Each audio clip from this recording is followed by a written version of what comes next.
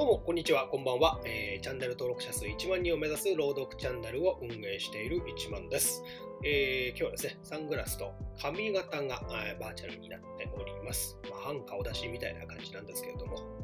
いつもはね、この顔から下だけ顔を出ししながらやってるんですが、今日はこういう形にしてみました。えー今日は、土曜物語という3連作、3部作を、えーお送りしていきたいと思います。えー松本大という作者の作品ですね。えー土曜物語と一括りにされてるんですが、作品としては3つになります。えーワット事件、少年の死、そして独筆ですね。このうちの2つ、あのーワット事件と少年の死はすでに読んでいたんですけど、この3つ目の独筆というのをまだ読んでなかったので、せっかくだから3つ続けて、え復刻していきたいと思っております。えー松本大はですね、えー1887年生まれ、1939年没ということでですね、東京生まれで慶応義塾大学を卒業後、イギリスに留学していたんだそうです。で、この土曜物語っていうのはですね、ひょっとしたらこの松本大の純粋な創作ではなくて、えー純創作、一部こう事実に基づいて書かれているものなんじゃないかっていう説がありまして、それは何でかっていうとですね、えこの土曜物語にはマーシャルっていう探偵役が登場するんですけれども、えイギリスにですね、ハーバード・マーシャルという私立探偵がいて、その探偵の事実談を元にして創作されたんじゃないかという説があるっていうことなんですね。確実なことではないみたいなんですけど、えーなのでね、えーこれから朗読していく3つの事件は、ひょっとしたら実際に起こっていたことかもしれないというふうにですね、えー思うと、ちょっとまたより楽しめるんじゃないかと思っております。えーそれでは、土曜物語3部作ですね。えーワット事件、少年の死、そして特筆。3つ続けてお聞きください。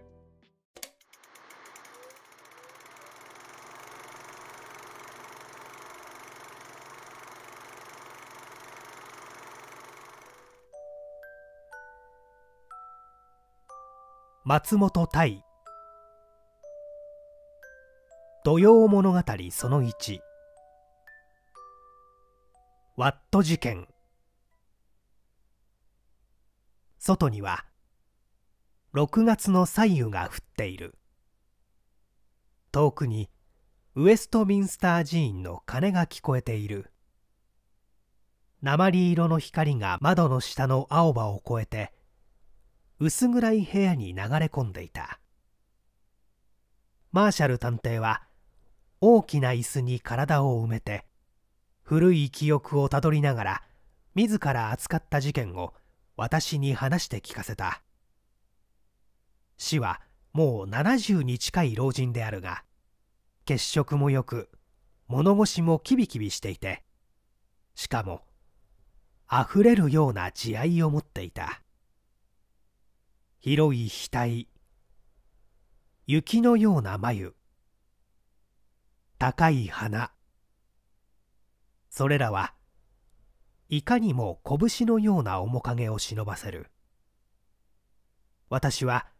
クラブで偶然な機会から知り合ったこの老紳士を心から敬愛している。マーシャル氏は私の恋を入れて毎土曜日の午後3時から5時の間私の訪問を許してくれた。それゆえこの話はむしろ土曜物語その1とした方が適当かもしれぬ。その頃私はリージェント街に事務所を持っていた。そこには元警視庁刑事の肩書きを持っている2人の助手が働いていた。ある日その助手の一人が私のところへ来て近頃健康が優れないから1週間ばかり休暇をもらいたいと申し出た。休暇を取るのはいいがやりかけの仕事はありはしないかね。別に大した仕事はありません。ただワット氏から依頼されている件が引っかかっているばかりです。恐れ入りますがこれを一つあなたに引き継いでやっていただきたいのです。どんな事件だね？ワット氏というのは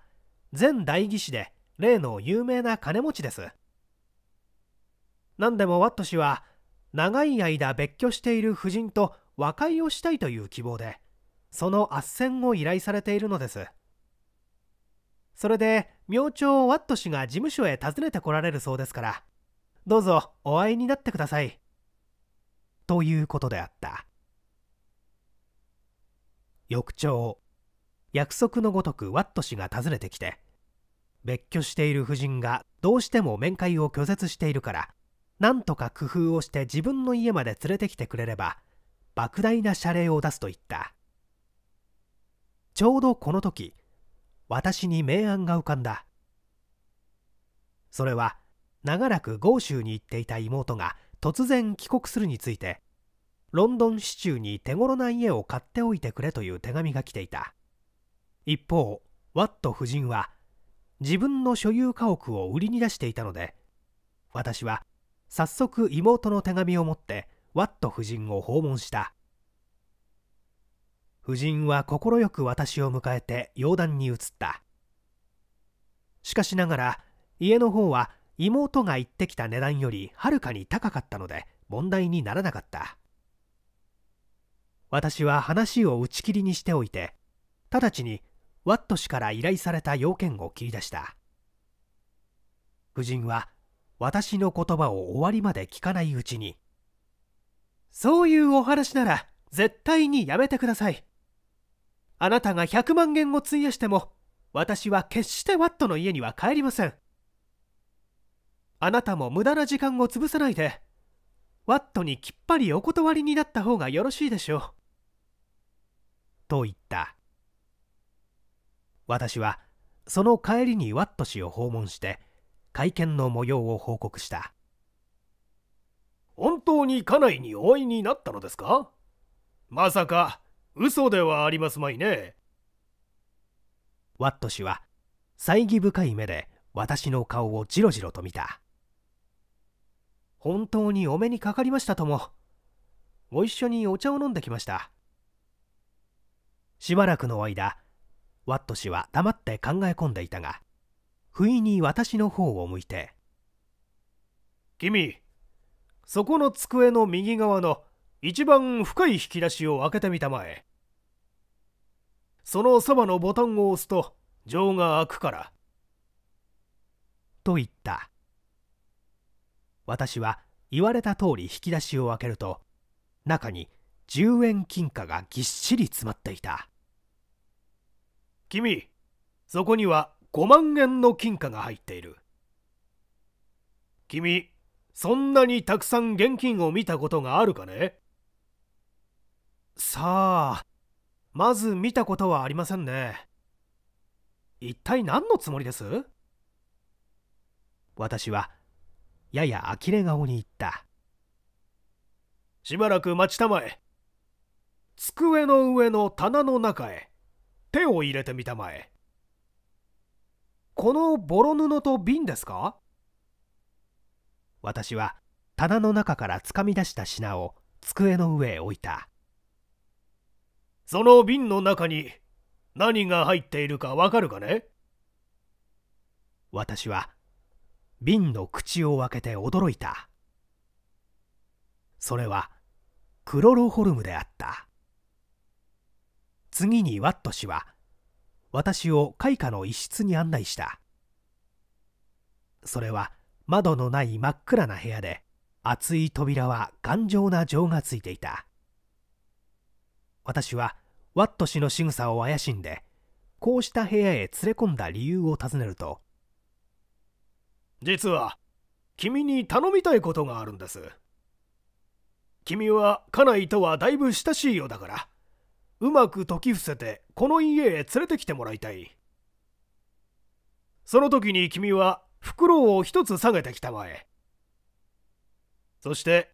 家内と私とが会見している間に机の引き出しに入っている金貨を欲しいだけ袋に詰めて行きたまえ。その間に私はあのボロ布にクロロホルムを浸して家内の顔にかぶせて地下室へ監禁してしまうから。家内は心臓が弱いからそのまま死んでしまうかもしれない。とにかく私が家内を地下室へ連れて行ったら君はすぐに医者を呼んできてくれたまえ。その医者の住所はいずれ後で教えるよ。医者と私との間には打ち合わせができているんだから。うまく後始末をしてくれるはずだ。私は呆れ返ってしばらくは言葉も出なかったがあなたは気でも狂ったのですか？そんな馬鹿げた相談を持ちかけるなんて失敬極まるではありませんか？と怒鳴りつけて私は家へ帰ってきてしまった。翌朝事務所へ行くとワット氏が朝早く電話をかけてよこして11時に訪問すると伝言をしたということである。私は助手にワット氏が来たら戸の外に立っていてワット氏の言った言葉を即帰しておくように命じた。約束の時間をたがえずにワット氏はやってきた。そして私がどんなに不愛想にしても一向気に留めない様子で「マーシャル君昨日私があんな素晴らしい検証をつけたのに何だって怒って帰ってしまったのだね。実際気が知れないよ。もう一度君に分かるように話して聞かせるから。よく考えたまえ。と言ってまた昨日と同じことを繰り返した。私はとうとう感触玉を破裂させてワット氏を事務所から追い出してしまった。ワット氏の申し出は実に気違いの沙汰であるがどう考えてみても正気を失っているとは思えない。そこで一応警視庁へ行って相談をしようと思った。みちみち私は二人の怪しい男に尾行された。私はワット氏の逮捕令状をもらって帰ってきた。例の怪しい男どもは相変わらず事務所までつけてきた。その日再びワット氏から電話が来た。電話口へ出た助手はワット氏からあなたに依頼料を支払うから事務所の者でも誰でもよこしてくれと言ってきました。と報告した私は所轄の巡査を2人頼んでワット氏の屋敷へ乗り込んでいったワット氏はその日の午後5時の汽車で旅行するところであったがその場から警察に認知されたそれから3日後に私は証人として法廷に召喚された。私は証人席に立ってワット氏が法律上の妻を殺害しようと企て金を持って私を買収し犯行を幇助させようとした旨を陳述した。すると私の他に2人同じ証言をする者が現れた。けれども彼らはワット氏から金を受けただけでその企てには預からなかったと言っている。最後に見慣れぬ男が証人席に立ったので私はそばにいた巡査に「あの男は誰です?」と尋ねてみた誰か知りません。あなた本当にご存じないのですか？巡査は不思議そうな顔をした。その男は自らライトと名乗って次のような驚くべき証言をした。私はワット氏が逮捕された当日街を歩いていますとある事務所の戸口のところで2人の男が立ち話をしているのが目に留まりました。何の気なしにそのそばを通ると1人の男がワット氏をゆすって5 6千円くらい取るのは造作なかったのに惜しいことをした。と言っているのが聞こえました。するともう一人の男が「実際そうだよマーシャル君」と相づちを打ちました。それは午前11時半でした。ワット氏の弁護士は突然私を指さして「その時マーシャルと呼ばれた男はあれか?」と尋ねた「さようです」とライトは答えた。私はあまりに馬鹿げた相手の陳述に何と言い開きをしたものかと途方に暮れた。けれども私のそばにいた巡査は見かねて「何とかなさらないでいいのですか？後で面倒になるかもしれませんよ」と注意してくれた。私は黙って笑っていたがライトがその晩のうちにアメリカへ向かって出版するのだということを聞いたので直ちに2人の助手を呼んでライトという男の後をつけさせた。私の助手は行く先々から電報をよこした。それによると汽船に乗って行ってしまうはずのライトはロンドン中をこそこそ逃げ回っている。私はライトが偽証していることを承知しているがそれを反駁すべき有力な証拠がないので当惑していた。ところがライトが私を事務所の前で見たという当日の午前11時半は S 大佐と公園を歩いていたことを思い出した。その日は大佐が事務所へ訪ねてきたのであるがワット氏の件で警視庁へ出かけるところだったのでみちみち大佐の要件を聞くことにして一緒に歩いていったのである。私は早速 S 大佐を訪ねて事情を話した。大佐は几帳面な人で日記をつけていたので私にその日記を見せてくれた。それには午前11時15分マーシャル氏を事務所に訪問する。市は警視庁へ出かける矢先であったので警庁まで一緒に歩いて要件を話す。とあった。これで十分である。私は直ちに検事局に出頭して身の証を立てた。その翌日の後半の時私は生涯を通じて忘れることのできない劇的な場面に遭遇した。ちょうど食事時で我々は休憩していた。その時ワット氏とその頃同棲していた夫人及び弁護士とが大きな顔をして廊下を散歩していた。彼らは私を恐喝罪に陥れたつもりでいるらしかった。ところがそこへ手錠をはめたライトが巡査に引き立てられてきたのでダチョウのような顔をしていたワット氏は顔色を変えてしまった。その日の午後の後半でライトは偽証罪に問われ12ヶ月の禁錮に処せられた。その後ワット氏の事件は1年余りも継続されてようやく有罪の宣告が下された。そこに行くまでの間ワット氏は金に明かして私を陥れようと試みた。それに成功しえないと知ってしまいには私の命を奪おうと図った。ある晩友人が来て X 酒場に某刑事が私を待っているからすぐ来てくれという伝言をもたらせた。その日は非常に疲労していた上だいぶ遅くなっていたので気が進まなかったがいろいろな場合に警視庁の刑事には世話になっているので気を取り直して出かけていった。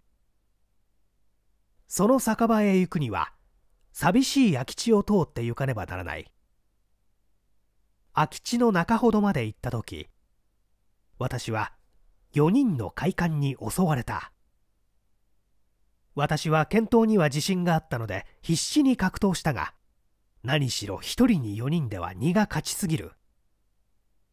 幸い近くを通り合わせた2人連れが駆けつけてくれたのでようやく助かった。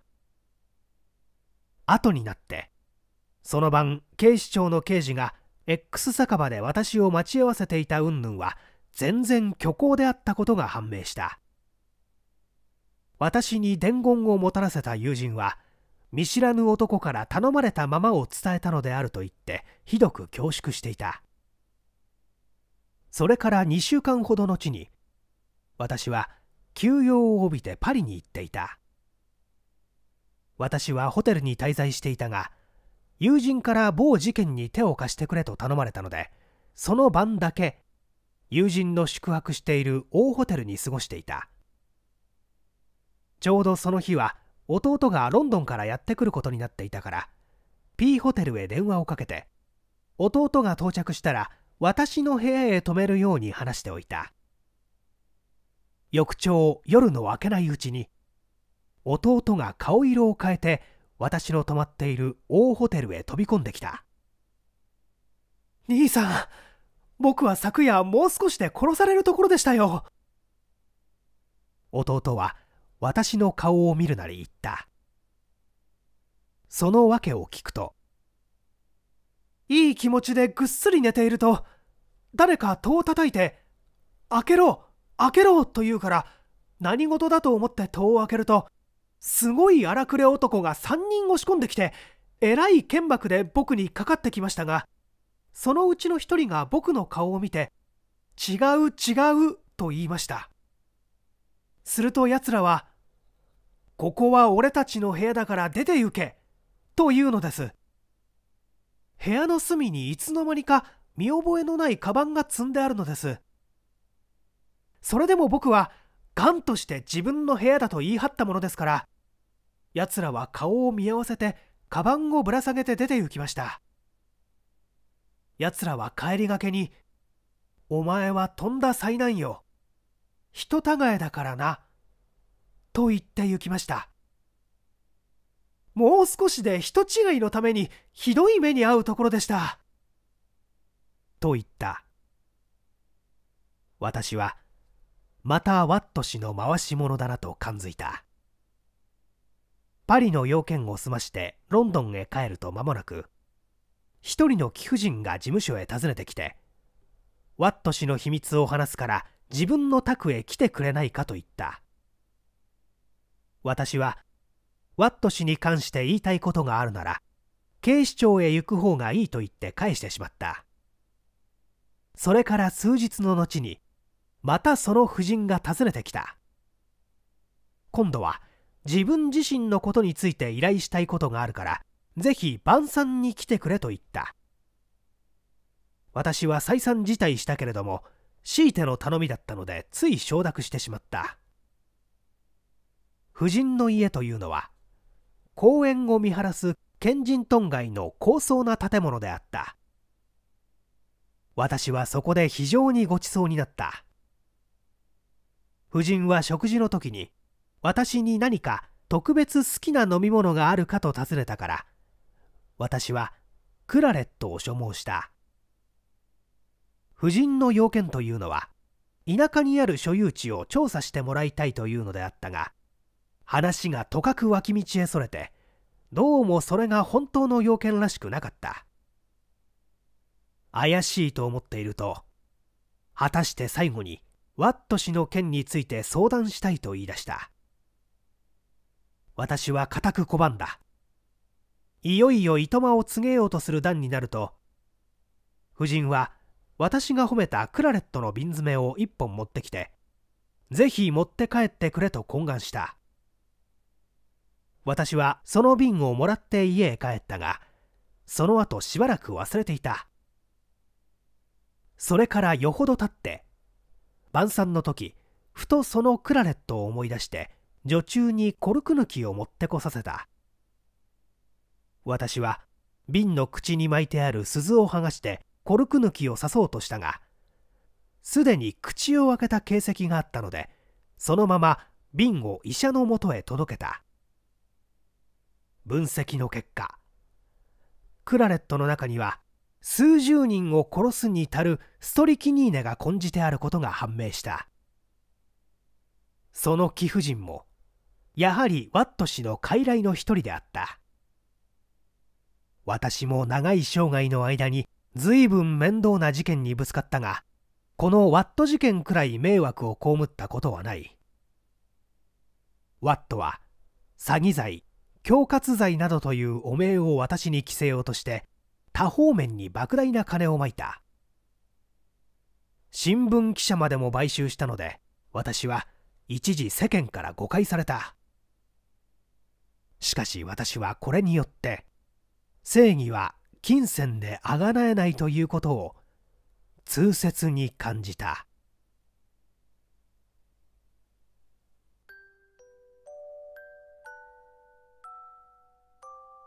松本太土曜物語その2少年の死。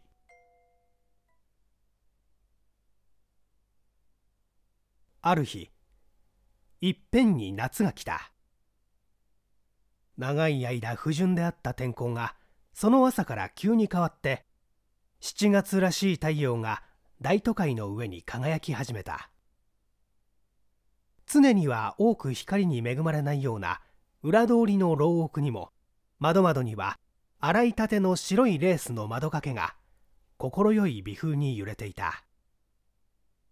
香りの高いラベンダー売りの古風な呼び声が穏やかな町々を物浮く流れていた。私は久しぶりに青空を見た喜びに公園の森を抜けると日課の散歩を延長してしけ間の航路樹の茂ったテムズの堤防へ出た。ゆったりと潮の満ちた川の上をウォータールー橋のたもとから回覧して上流へ遡る遊覧船が白緑時色。その他とりどりに軽装した晴れやかな人たちを乗せて幾層も幾層も通ってゆく。私の手にしているその日の新聞には生活難のために首をくくって自殺した女。嫉妬の人情。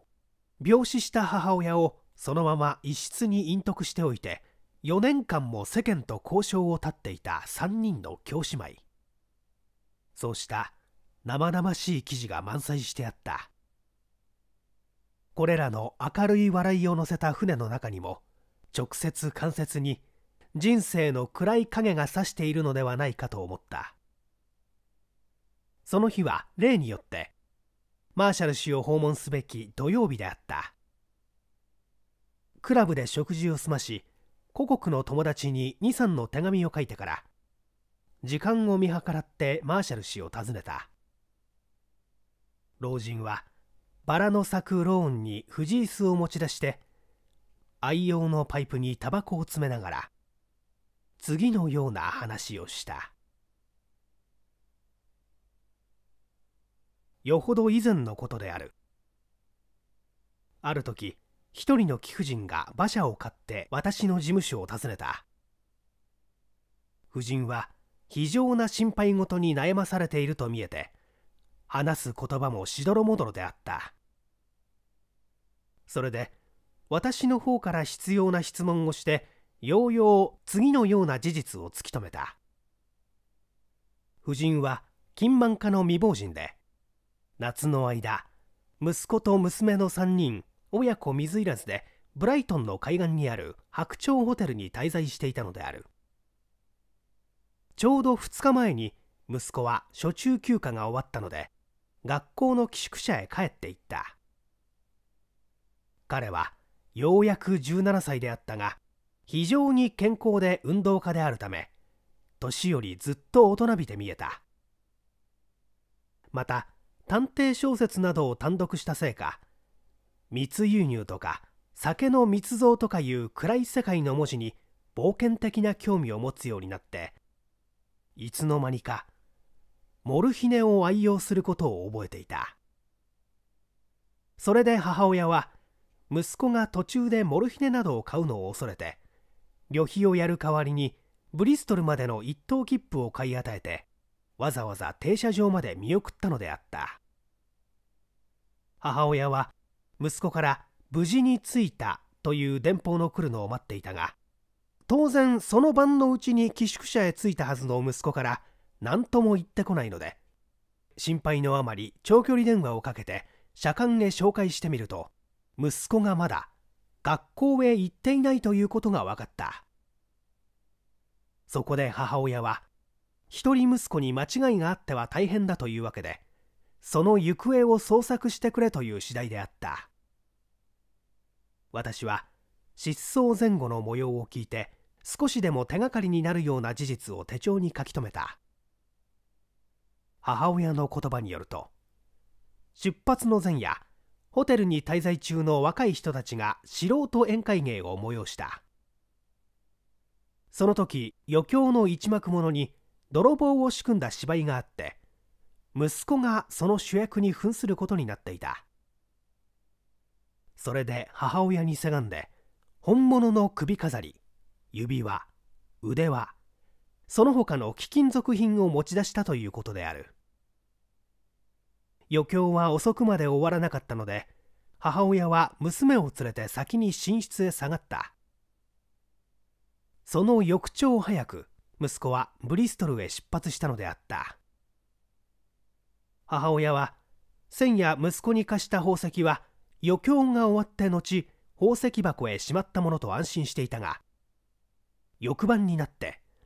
初めて高価な宝石類がことごとく紛失しているのを発見したのである。夫人が帰った後で私は旅行案内を見てすぐにブライトンへ急行した。駅長に会って事情を話すと彼は当日のことをよく覚えていた。お尋ねの少年は発車間際に私のところへ来てブリストル行きの一等切符を示し急にロンドンへ行くことになったから方向転換の切符を発行してくれと言いました。そして3等切符でいいと言いますので鉄道規則に従って12円50銭のお払い戻しをしました。と駅長は帳簿を調べてビクトリア停留場までの切符を発行した旨を答えた。私はすぐロンドンへ引き返してビクトリア停留場の駅譜に聞くとそれらしい少年が駅前のたまりから大型の自動車へ乗っていったということを聞き出した。そこで私は自動車のたまりへ行って1台ずつ調べていったがなかなか根仕事であった。それらの自動車はことごとく客を乗せたわけではなく駅からただ荷物だけを運んだのもあるし5台までは私の持っていった写真の主に該当するような少年の客を乗せた覚えはないと言った。しかしながら最後に会った運転手が乗せていったお客というのはどうやら問題の少年らしかったので運転手の記憶を頼りに H 公園に沿った新目街118番を訪ねた。そこは素人下宿で少年の写真を見た主婦は「ああこの方なら日曜日の晩からおいでになっています。ただいまもう2階のお部屋で本を読んでいらっしゃいます」と言った。私はそれを聞くとほっとしてすぐ依頼者の貴婦人に電話をかけた。ブライトンのホテルを引き上げてロンドンの邸宅へ帰っていた夫人は直ちに自動車で駆けつけた。母親と私とは前後して2階の部屋へ飛び込んでいった。天井からつった薄暗い電灯を背にして1617の少年がストーブの前の深い椅子に埋まって書物を読んでいた。不意の物音にびっくりして振り返った少年の顔を見ると母親はがっかりして崩れるように床へ座ってしまった。ようやく探し当てたと思った少年は他人の空にで尋ねる少年ではなかったからである。最初の失敗をした私は嘆き悲しんでいる母親を慰め少年には詫びを言ってその家を引き上げた。それから数週間私は2人の助手を特例して警察病院安下宿それから質屋などにまで手を伸ばして捜査に努めたが少年の行方は用として知れなかった。私はほとんど絶望したがたまたま夫人との会話の中にロンドンの某百貨店の買い物は全部月末払いになっているということを知ったので帰りしなにその店の支配人に面会した。私の考えでは少年がいよいよ金に塞がれば買い付けの店へ行って帳面で品物を取ってきてそれを他へ持って行って金に換えるような方法を取るかもしれない。と思ったからである。支配人は私の要件を聞いてもし〇〇家の子息が店へ買い物に来たらすぐ電話で知らせるということを承諾した。それから数日の後その店から電話がかかってきたので私は直ちに自動車を走らせてその店へ向かった。そして私は長らく尋ねあぐねていた〇〇家の霊則を発見することができた。けれどもなんという変わり果てた姿であろう。着ている着物は海藻のようにボロボロになって頭髪は伸びるに任せどう見ても不老人の子供とより思われないような浅ましい姿になっていた。少年は薬品部へモルヒネを買いに来たのであった。私は少年をそのままの姿で母親のもとへ連れて行くには忍びなかったので近くの公衆浴場で入浴させ床屋を呼んで頭をからせ出来合いのさっぱりした服を着せた。電話を受けた夫人は即刻事務所へ息子を引き取りに来た。長い間モルヒネの持つ恐ろしい魅力に引きずられていた少年の心もさすがに母親の顔を見た時は悪夢から覚めたらしかった。親子は愛用して喜びの涙を流した。私は少年の口から次のような事実を聞き取った。それによると彼は母親の知らぬ間にモルヒネの中毒者になっていて学校へ送られる頃はもはや一時も薬がなくては暮らせぬ状態になっていた。それで彼は学校へ行く代わりにロンドンへ行って家から持ち出した宝石を二足三門に売り飛ばしてモルヒネに変えていたのである。恐ろしい薬品の前には良き食べ物も心地よい寝床も母親の愛も何の価値はなかった。彼は売るべき宝石がなくなったからはギターを抱えて町から町へさまよい歩きかつては家庭団らんの折に奏でた曲でそこここの酒場をにぎわしながら客から与えられた幾ばくの金をかき集めては薬品に変えていた。けれども次第に中毒の度が高じてきてもはやそれくらいの稼ぎでは追いつかなくなったので日頃取り付けの百貨店を見出してそこで薬を手に入れようとしたのであった。夫人は少年を家へ連れ帰って厳重な監督と慈愛深い看護によってモルヒネ中毒から救おうとした。それから数週間後に夫人は再び私を訪問した。どうしました？息子さんはすっかり元気になりましたか？いいえ。そのことで今日はご相談に上がったのです。あの子は薬をやめてからまるで生まれ変わったように無口な陰気な子供になってしまいました。何とかしてお金はいくらかかっても構いませんから。あの子を元通りに幸福にしてやる方法はないでございましょうか。世界万有にでもお出しになったらいかがです？いろいろ変わった土地の風俗を見学させたら気が紛れて身も心も共に健康になるでしょうと思います。ああそれはいい考えです。ぜひそうしてみましょう。けれどもあの子一人で出してやるわけにはいきませんから安心してお願いできるような方に連れて行っていただかなくてはなりません。いかがでしょう？先生にご無理願えませんでしょうか？私はこの突然の申し出に少なからず驚いた。私は自分の職業があるしまた生活のために働かなければならぬ境遇であったから事情を話して夫人の申し出を断った。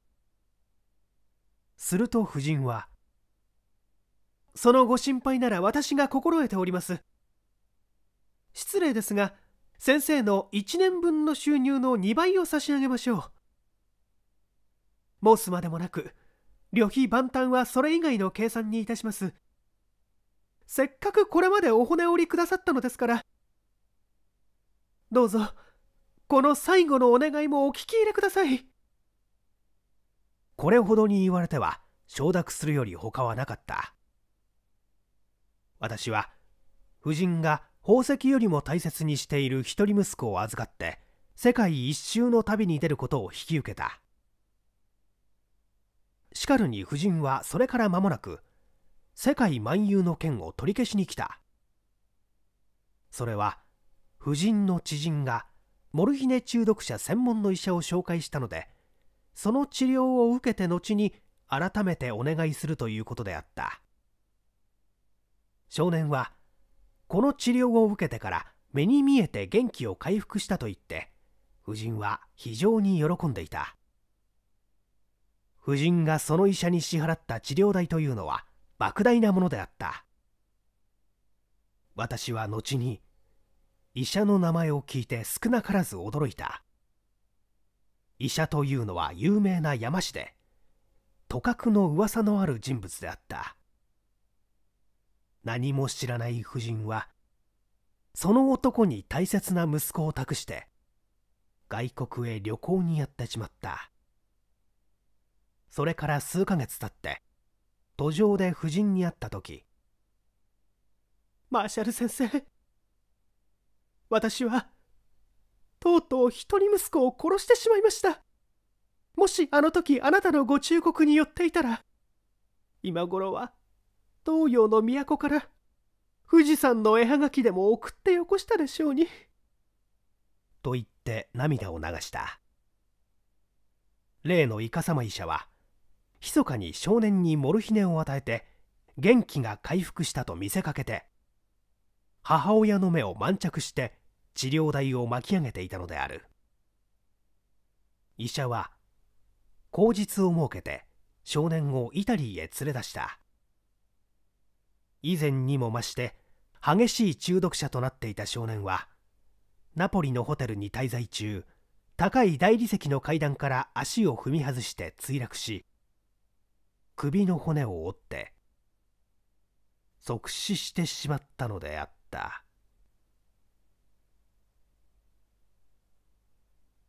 土曜物語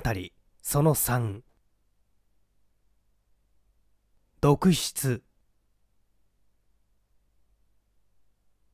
夏の楽しい日光に恵まれる78月を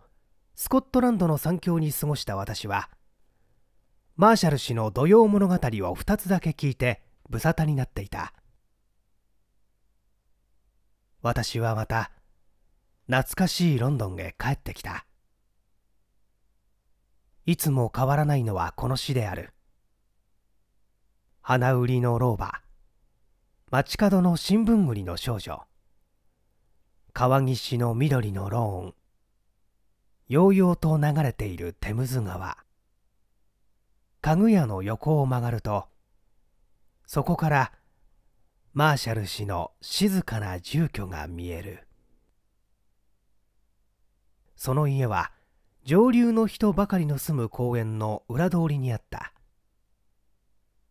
X 未亡人の混成によって私が訪問したのはある秋の日の午後であった。しもべに案内をされて全備を尽くした客間に入っていくと痩せた弱々しい老婦人が私を迎えた。よくいらしてくださいました。実は何人も探偵を雇ってあるのですがちっとも拉致が開かないものですからあなたにご足労を願ったわけでございます。ご用件はどういうのでしょうか？私の目をかけている秘書のところへ先頃から類々と気味の悪い脅迫状が参りますのでその子も私も夜もろくろく休まれないほど心配しているのでございます。かわいそうに嫁入り前の娘があんな恐ろしい手紙をたびたび受け取っていたらしまいには気違いになってしまうかもしれません。一体どういう事柄が書いてあるのです？とても言葉などでは申し上げられません。どうぞご覧になってください。手紙は郵便で来るのですか？いいえ。知らないうちに誰かが投げ込んでゆくのでございますそれで探偵を雇って見張らせておくのでございますけれどもいつ誰が持ってくるのかまるでわからないのでございます。未亡人は卓上の呼び鈴を鳴らして秘書を呼んだ。それは22、3の背の高い美しい娘であった。あの手紙を持っておいでなさい。私のタンスの引き出しにありますから娘はしとやかに部屋を出て行ったが間もなく一束の手紙を持ってきた。あなたならきっとどうにかして私どもを救ってくださると信じております。老婦人は心痛の種である脅迫状を私に渡した。私はそれを研究した上で何とか処置をすることを訳してその家を辞した。その晩私はストーブの前で例の手紙を読んでみたがなるほど。このような手紙を毎日受け取ったら気の弱い婦人たちの寿命が縮まるのも無理はないとうなずかれた。私は詳細にそれらの手紙を調べた結果筆者は事故の筆跡を隠すためにことさら癖のある書体を用いていること。それから手紙のうちである文字の綴りがいつも誤っているという二字を発見した。この2点を基礎にして一つの定論を得たので私は翌朝馬車を雇って X 家へ向かった。私は途中ハンカチで右手を包んだ。老婦人は目ざとく私の右手を見つけて「マーシャルさんお手をどうなさいました?」と尋ねた私はさりげなく「いや別に大したことはないのです。馬車へ乗るときにちょっと怪我をしたばかりです。時に奥様例の脅迫状の差出人もだいぶ見当がついてきました。実はその件に関して手紙を書きたいのですがご覧の通り右手が使えませんので甚だ恐れ入りますがあなたの秘書を煩わせていただきたいのですが。と言ったよろしゅうございますとも。どうぞご遠慮なくお使いください。老婦人は快く私の申し出を入れてくれた。間もなく例の美しい秘書が入ってきた。私は馬車の中で考えてきた短い手紙の文句を口述して彼女に書かせた。彼女がさらさらとペンを走らせて書き終わった手紙を封筒へ入れようとした時私は一応目を通すからと言ってそれを受け取ってみると。果たして私の推定通り同じ文字の綴りが誤っていた。私はいきなり椅子から立ち上がって奥様どうぞ警官をお呼びください。毒筆を浪した人物が分かりました。犯人はこの女です。と真っ青な顔をしている秘書を指した。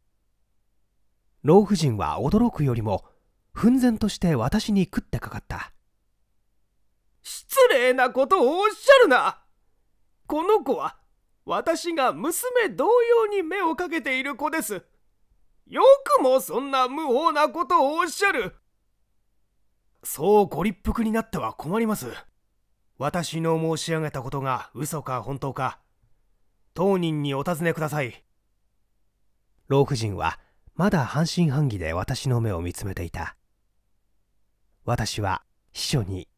「あなたが書いたということは明白ですよ。それとも何か抗弁がありますか？と言うと女は眉も動かさないで私が書いたらどうしたって言うんです？と言い捨ててさっさと部屋を出て行こうとしたお待ちなさい。まだ用事は済みません。私は彼女を呼び止めた。老婦人はあまりのことに気も転倒するばかりであった。けれどもようやく気を沈めて。どうしたらよろしいでございましょう？私はこんなことを警察沙汰にするのは好みません。と言った。あなたのご意見がそうなら公の問題にする必要はありません。しかしあの女には即刻暇をおやりになった方がよろしいでしょう。そうです。すぐ出て行ってもらいましょう。あんなに可愛がってやりましたのになんていうことをしたんでございましょう。でも自分に当てて脅迫状をよこすというのはどういうわけでしょう。しかしこの女に当てた脅迫状はみんなあなたがご覧になるでしょう。あなたを心配させるのがこの女の目的なんです。自分宛ての脅迫状を自分で書くということは嫌疑を他へ向けることにもなります。なかなか利口なやり口ですよ。そうおっしゃられても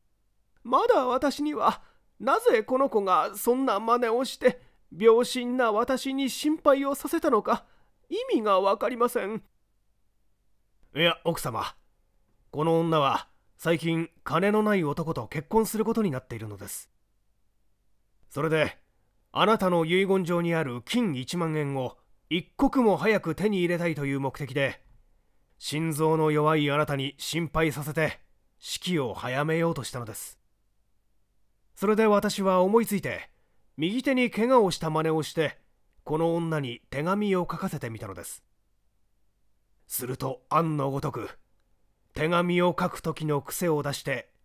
脅迫状にあったと同じ綴りの間違いをこの手紙のうちにやっています。秘書はこんなわけでせっかくの1万円を煙にしてしまった。